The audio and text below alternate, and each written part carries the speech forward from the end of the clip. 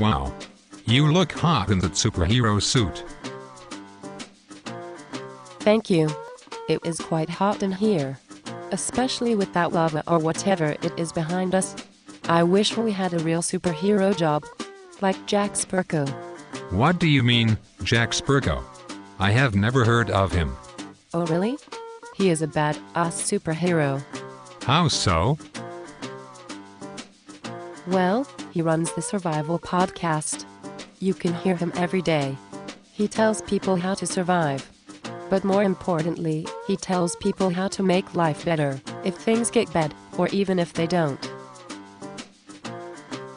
Superhero dressed in black, what do you mean, or even if they don't? Well, superhero dressed in green, it means that we can prepare for bad things, you know, be responsible, and do so in a way that even if bad things don't happen, we are still better off. Oh. I like that.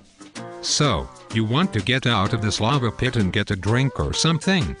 I want to discuss this, Jack Spirko, guy with you some more.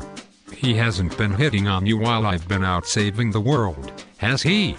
You worry too much, Broccoli Man. He's happily married and is what he does to help people.